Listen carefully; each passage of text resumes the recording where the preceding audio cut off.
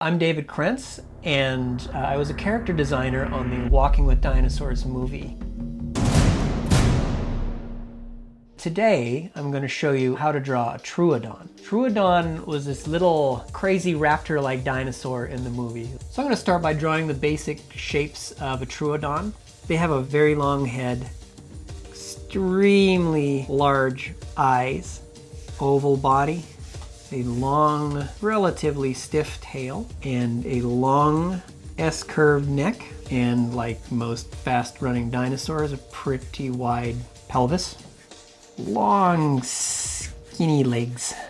And the really neat thing about this dinosaur that really shows you its relationship to birds are the way that its arms uh, were constructed. Its wrist could fold back onto itself.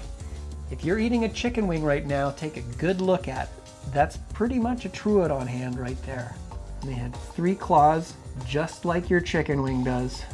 The really cool thing about Troodon is it most likely had feathers. Lots of relatives that were found with feather impressions all the way around.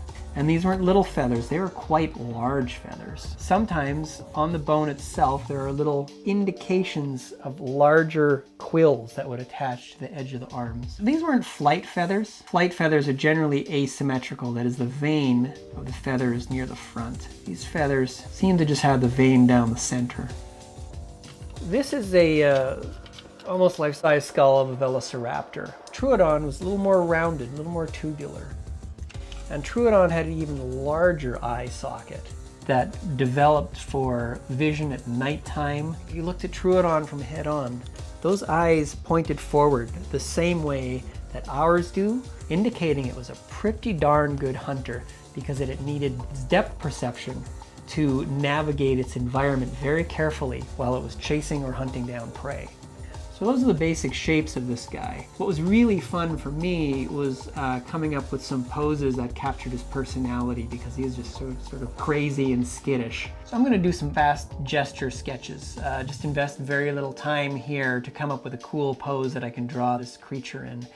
I think this is the one I'm gonna develop a little bit further. A tail can give you a lot of attitude in your drawings and in your gestures. Uh, in this case, I've chosen to kind of drop his tail down because he's been caught.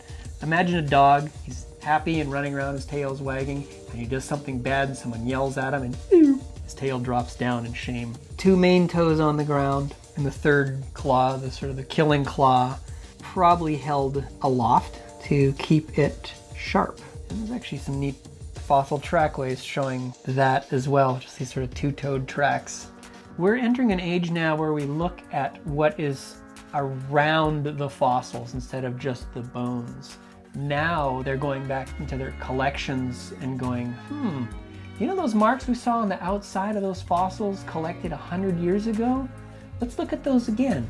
And they take a look and they go, oh my gosh, those are fully formed wings on this dinosaur that we've known forever. Going to be a really exciting time in dinosaur science in the next 10 years. So I'm pretty happy with this drawing, so that's our Troodon.